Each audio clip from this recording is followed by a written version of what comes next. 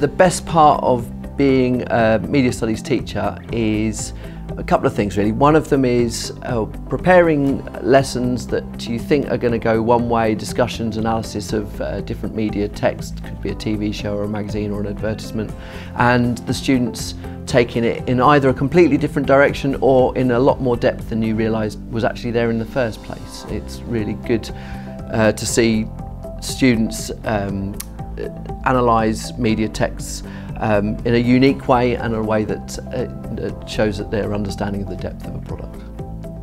And um, the, the other excellent thing about being a media studies teacher is when you see students create their own work to produce short films, music videos uh, that are just outstanding, very creative, original, technically brilliant, where they've roped friends in perhaps to be dance troupes, you know, out on a cold day, helping them. Um, it, the production values, even with the most basic equipment, can be fantastic. And uh, you know, we've had some brilliant projects in the past. Um, hidden talents would include and probably end with juggling.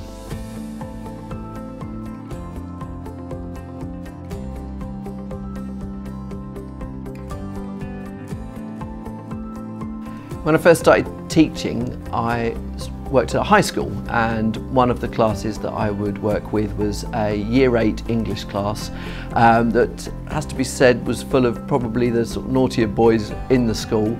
Um, one student was struggling with something, I stood up to go and help them and promptly fell over completely.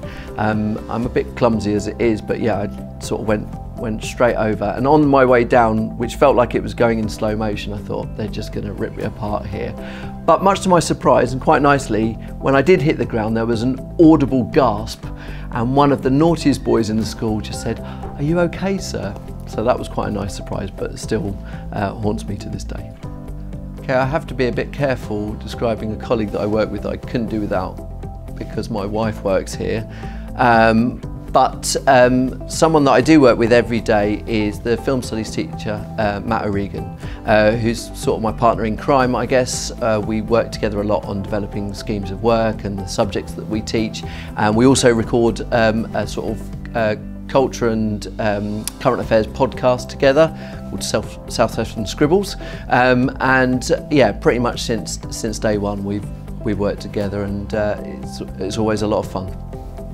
The worst part about being um, a teacher is actually when I first meet my students and having to explain that uh, just because I'm from Essex, it doesn't mean that I know anyone from Towie or that I'm maybe anything like the people from Towie either. If I was a student uh, sat here um, having to uh, you know, be taught by myself, I suppose I'd probably think, um, why does he keep bumping into things?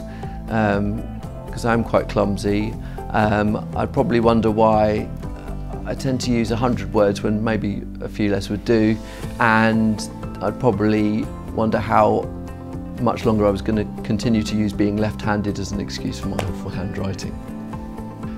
The part of, uh, I suppose, my job that makes me most proud is seeing students who really challenge themselves in their media production, um, taking risks, being creative and you know, really going for it in terms of the, the, the, projects they make, whether it's a short film, music video, whatever it is, that you can tell that they've seen through their sort of creative vision from conception of the idea to the final edit. Um, and I think that gives me the, yeah, the, the most pride uh, in the subject and, and job.